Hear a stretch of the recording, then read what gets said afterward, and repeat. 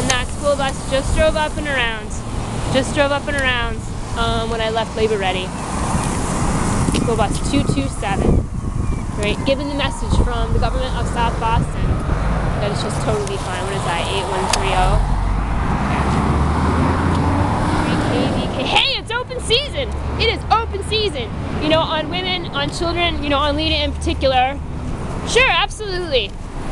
Great, there you go that guy in that school bus, number 122, that had that one little girl on his bus, right? This this is this is the answer. This is South Boston's answer to you know my having videotaped that.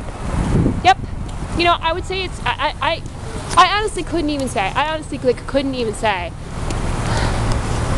whether or not it's the majority of people in South Boston who feel who feel like this is okay stuff. I, I know, I, and I would tend to kind of doubt it to be honest with you, because I think most people are just trying to get through their lives. They're just trying to get through their lives and they want to believe that the people that they elect um, are going to be doing what they ought to be doing, right? And so it doesn't it doesn't even occur to them that things like this could happen, right? And now it's just exploded everywhere.